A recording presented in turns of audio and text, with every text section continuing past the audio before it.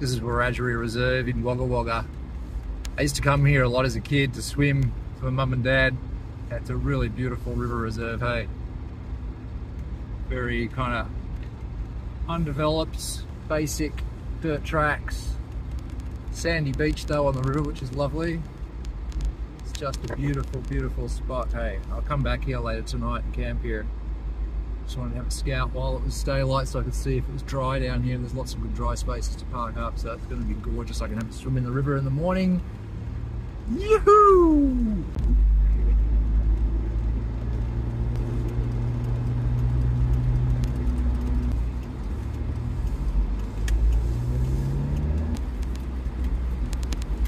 Whoa, Woolworths Wagga Wagga. Looks like they're growing Magic mushrooms in the planter pots outside the store. Way to go, Woolies. This is what happens when you live with wild animals. You've got really predatory instincts can take over. Might be hunters. Ah!